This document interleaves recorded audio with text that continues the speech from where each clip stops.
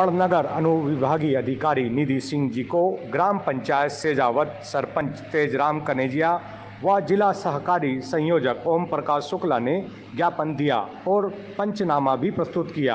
आपको बता दें, विगत 15 अगस्त को ग्राम पंचायत सेजावत में सेवा सहकारी संस्था मर्यादित सेजावत में लापरवाही ध्वजारोहण नहीं किया गया।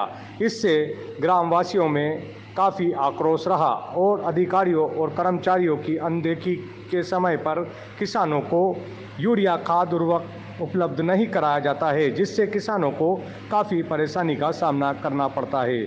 आज मांग रखी गई कि जल्द से जल्द लापरवाही करने वाले अधिकारी और कर्मचारियों के खिलाफ सख्त से सख्त कार्रवाई की जाए।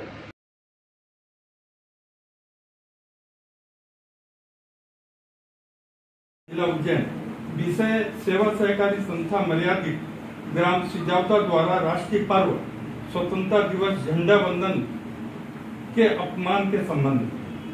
महोदय, उपरोक्त विषय में निवेदन है कि सेवा सहकारी संस्था मर्यादित सिजावता ग्राम सिजावता के जिम्मेदार अधिकारी कर्मचारी द्वारा स्वतंत्रता दिवस 15 अगस्त के झंडा वंदन का अपमान करते हुए झंडा वंदन नहीं किया गया।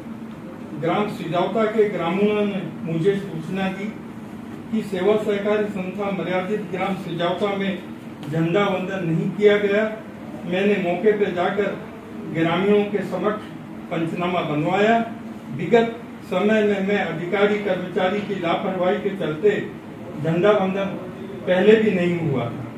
जिम्मेदार अधिकारी, कर्मचारी द्वारा पिछले तीन वर्षों से किसानों को यूरिया की आपूर्ति की की और कोई ध्यान नहीं दिया जाता है। यूरिया के लिए किसान बहुत परेशान हो रहे हैं। जिम्मेदार अधिकारी कर्मचारियों पर राष्ट्रीय पर्व के अपमान को देखते हुए कठोर से कठोर कार्रवाई की जावे।